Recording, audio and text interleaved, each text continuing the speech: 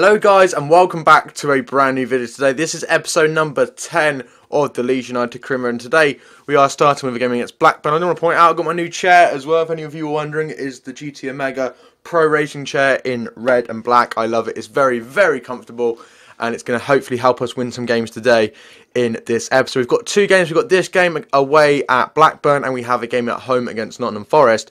And then in the next episode, guys, we're into the January transfer window, which is crazy. So let's go and jump straight on in to this first game.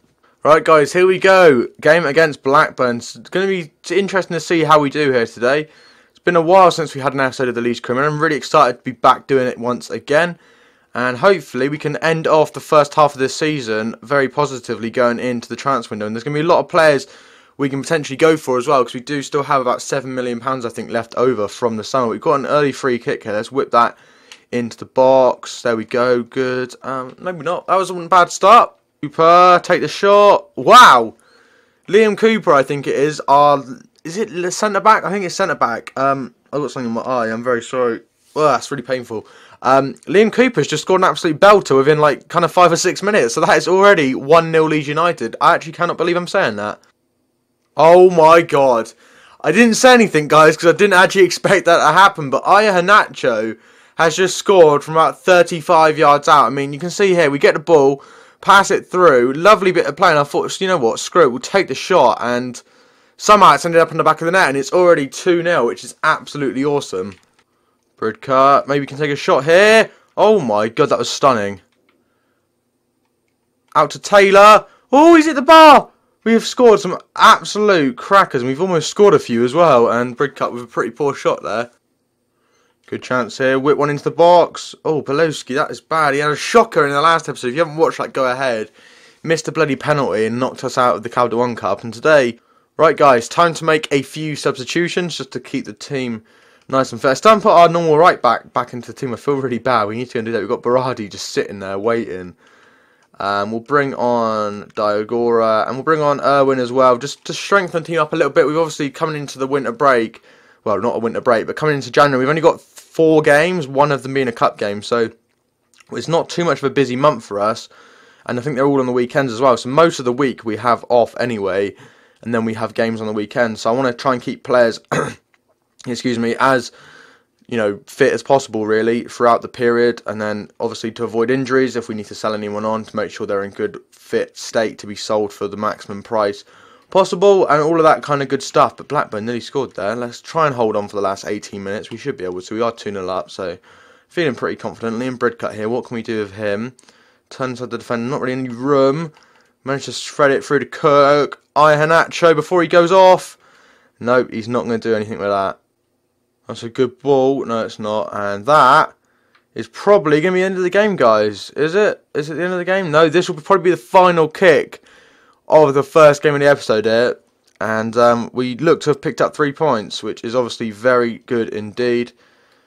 Just really waiting for the ref. There we go. Three points in the bag, guys, yet again. Really pleased with that performance. Good to come back from the game against Liverpool in the last episode and bounce back with a win. I know he simmed a game before that, but you get the idea. It's nice to just get back into the me playing personally and getting a win rather than simulating a game anyway, which is absolutely awesome. But we are going to do some player training here today.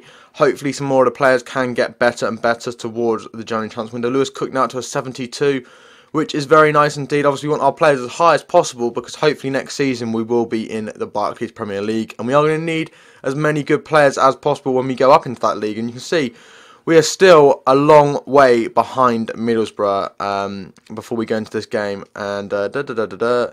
Nottingham Forest. We will actually praise our team. They've been doing really well recently and really proud with the efforts they've been putting in in recent games. You can see we are currently 12 points behind Middlesbrough already, and we're only 24 games in. So they are already kind of running away with it. We've got a game against Forest at home. We are going to go and play that, guys, and then that will be the end of the episode. In the next episode, we will kick off with some transfer action, which is absolutely awesome. Let's go and get into it.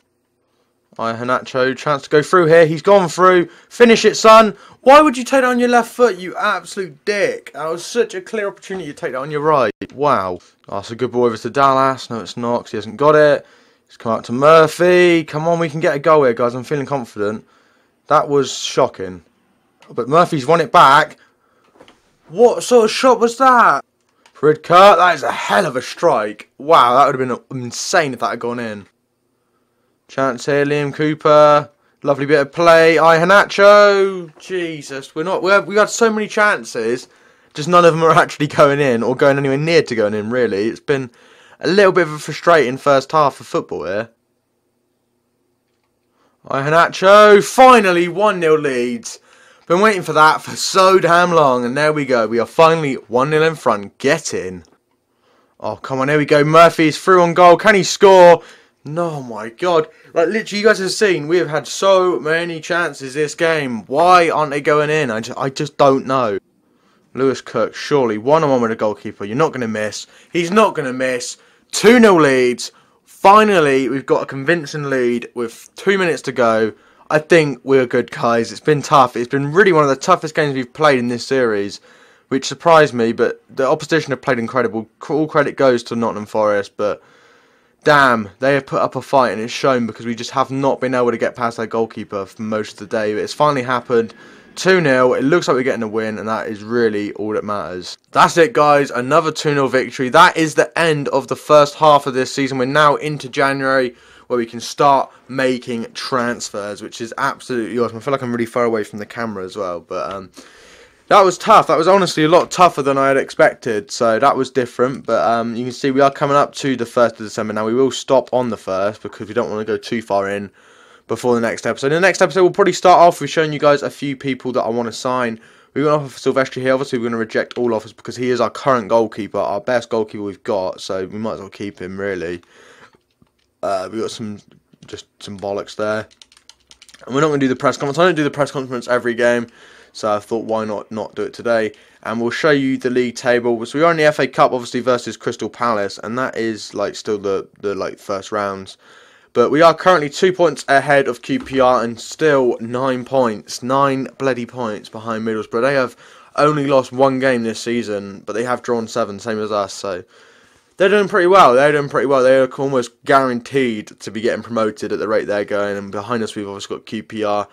Good to get a win against Forest as well because they are nine points behind us. But you know we're starting to build a lead on you know the the teams in sixth and fifth and fourth even. So it's looking good going into the end of the season, guys. But if you have enjoyed this episode, if we can smash over five likes, that would be absolutely awesome. If you haven't already, please do go and subscribe to the channel, and I'll speak to you guys in the next episode very soon.